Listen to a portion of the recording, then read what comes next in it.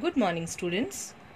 In Standard 3 Maths, we are going to study many topics like addition, subtraction, multiplication, division, fractions, data handling, symmetry patterns, etc. etc. But our first topic, which is very, very familiar to you all, which you have already learned a little bit about it in Standard 1 and 2. So, our first topic is shapes. Now, the shapes are divided into two mainly flat shapes and solid shapes.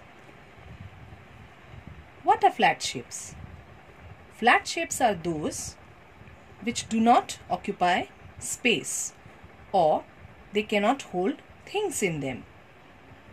Examples square, rectangle, circle, triangle, oval. These are the examples which you can find them easily in their surroundings.